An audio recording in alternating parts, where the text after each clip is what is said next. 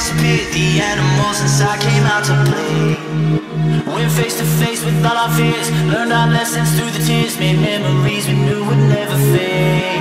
One day my father, he told me, son, don't let it slip away.